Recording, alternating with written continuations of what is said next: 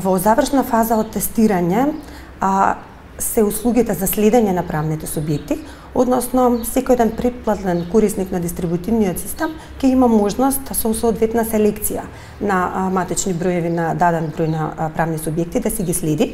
А, доколку се настане промена во некој од тие субјекти кои што ги следи, ќе се добие соодветна нотификација дека тој правен субјект извршил некаква промена во централниот регистар, односно ќе добие информација за извршената промена. А, а, соодветно ќе бидат известени сите корисници на дистрибутивниот систем, а, веднаш штом а, започнеме со испорака на продукција на овие нови услуги.